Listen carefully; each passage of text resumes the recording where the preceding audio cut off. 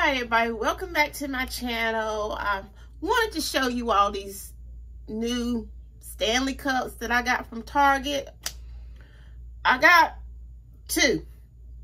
And um, I am so sad that I missed out on the pink one and the red one back during Valentine's Day. I hope they bring them back. Not that I need to buy them, but I would really like to have that pink one. But missed out on it. And the reason I went and bought two more Stanley Cups, because my daughter, she took one and I don't know what she done with it. And then she came and got another one and she basically carrying it. So I didn't have one. And I didn't want to end up taking somebody else's. I could have took my significant other's uh, Stanley. And I, I came close to doing it. I'm like, no, I'll get my own. So here's um the first one. It's yellow. And I hope my uh lighting is picking up. My light, sometimes it's, it's real light and sometimes it's too dark. But that's that's one of them. The yellow. Um, I would have liked for the yellow to have been just a little bit darker than this, but I can deal with it. Um, I'm just going to put this up as a spare one in case the one I got, this one's my favorite right here. Oh, when I saw this one and people saying, oh, don't get that one. That's ugly. I'm like, oh, nah, okay. I'm going to get it because I like it. And ta-da. Same people that told me it was ugly, love it. They said it looked different online. So this is the one I'm going to be carrying to work. Um, the yellow one is just going to be put up as a spare one in case this one walks away. And I pray it doesn't. So, uh, yeah, Target. Um,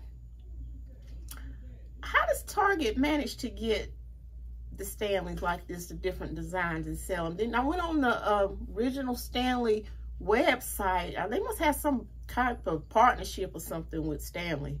Because I went on the Stanley website and I didn't see these. But they keep coming out with new colors and stuff. And I said,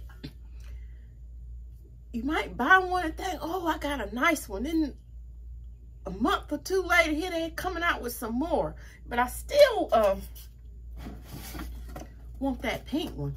But I ain't buying it. I no, I'm not buying it. These were uh, $45 a piece. I, I mean, okay. but anyway, I, I wanted it. So, you know, you sometimes you just pay for what you want. And it does keep the drinks cold all day long. Yes, yes. So Stanley don't need no advertising because everybody knows about Stanley. But I just wanted to show this, you know, um, non-sponsored.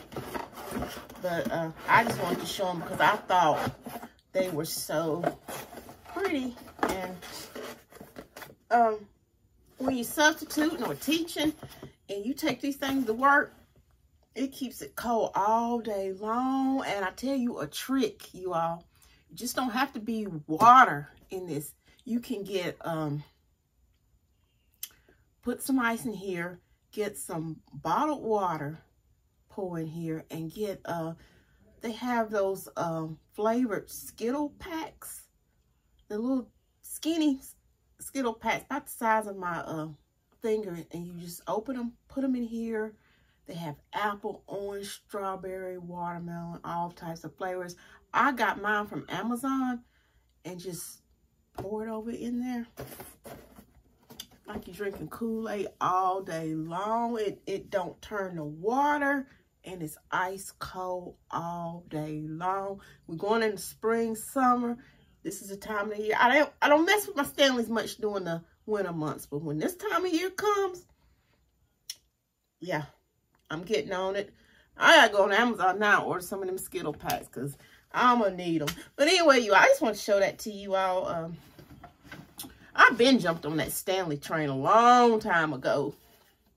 But when they start coming out with the beautiful colors, I kind of was behind a little bit. But yeah, this is their new collection. So anyway, y'all, I thank you for watching. And um, if you like videos like this, like and subscribe.